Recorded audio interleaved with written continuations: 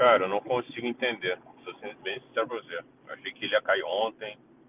Pensei que ele ia cair com o Fluminense. O cara não cai. Não sei por quê. A gente vai sangrar em uma competição, tomara que não seja Libertadores, para tirar ele.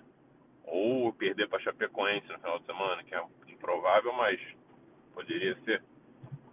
Cara, ele é, ele é uma pessoa ruim.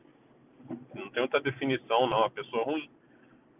Cara é perdido, o cara faz merda, o cara critica os departamentos. Assim, ele não tem respaldo do pessoal de cima, deixa ele meio perdido aqui. Mas ele tá lá, cara, quase um ano já. Ele nunca se interessou em sentar com o pessoal da análise lá de desempenho, que é os caras de tática e tal, para ver quais são os processos, quem que faz. Ele nunca se interessou em sentar lá no nosso departamento, porra, virar e falar assim, porra, gente, eu tô precisando de pessoas, tô precisando de jogador, tô precisando de, de um cara assim, etc. O que, que vocês têm? Me ajudem.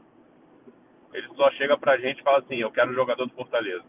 Aí a gente vira e fala, pô, a gente tem um melhor. Não, eu quero um jogador do Fortaleza. Ele já pediu cinco, se eu não me engano. Até hoje, até um, ele força a barra. Tem toda hora puxar assunto dessa merda desse jogador dele. Ah, pá, vocês viram que um que ele pediu já tá no Ceará, outro que ele pediu já tá no, no Cuiabá. Porra, cara, é, não tem como trabalhar com o cara. Ele é muito ruim. Aí a gente chega pra, com ele com três, quatro nomes bons europeus, cara, porra, vindo de graça, de empréstimo. Aí ele fala, ah, não, conheço. Nem procura entender, nem procura saber quem é cara, sinceramente, o que eu falo mal caráter é pelas coisas que já aconteceu aqui dentro dele, dele fuder pessoas. Ele tá falando com a pessoa, a pessoa sai da sala e ele começa a xingar a pessoa pra outra pessoa. E a outra pessoa, porra, que era amiga da que saiu, fala pra ela. Já aconteceu várias vezes. Ele trouxe o cara lá do Fortaleza, lá, o analista de desempenho, o cara falou, não sei por que ele me trouxe, não entendi, só me xinga, só fala mal, só falava mal de mim do Fortaleza.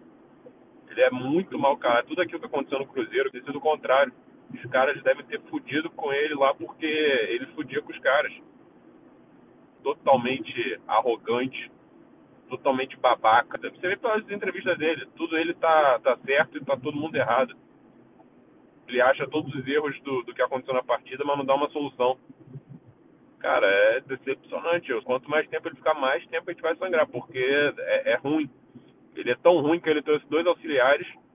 Um auxiliar quando ele estava com Covid, ele não quis deixar o cara ir para campo, porque o cara é ruim, só sabe montar campo. E ele teve que chamar o cara do sub-20 para ser auxiliar dele. De tão ruim que os caras que ele, que ele pegou trouxe. Os franceses é nojento de ruim. Gente boa pra caralho. Esse é gente boa, mas caralho, é muito ruim. Tá perdido, cara. Enquanto ele continuar lá, a gente tá perdido.